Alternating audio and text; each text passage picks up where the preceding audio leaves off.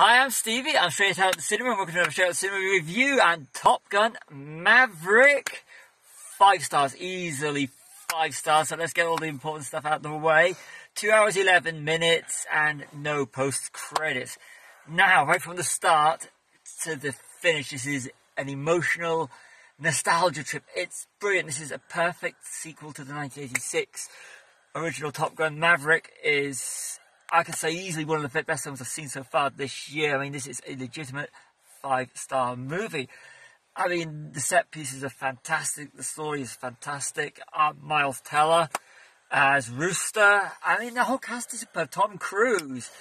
I mean, it's uh, the first one was 86. You're talking about 35, 36 years since the uh, oh, so uh, since the you know since the original 86, and and Maverick is the timing is right to do this movie. Like I said, the story's superb, and it's it's got an old school '80s feel. I mean, uh, right from the start with uh, Don Simpson's name uh, Simpson and Bruckheimer production, you knew this the tone that this was going to be, and it lives up to all expectations. Expectations of the original movie. This is a must-see cinema experience, and this is one of the sort of films that, with all the other stuff that's in, I mean, it's basically superhero movies at the moment in cinemas.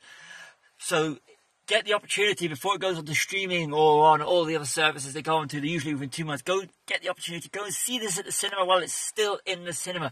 This needs to be seen big screen, and is one of it's seriously this. It's just how action films. Well, like, I say action, but it's it's more than just just action. This is it's got a real story to it. I mean, so I, I, am Stevie. I'm going to keep this spoiler free. Just saying, just go see the five star Top Gun Maverick. See you all soon. Another in the Geek Room, out the Geek Room, straight out the cinema reviews. Like, subscribe.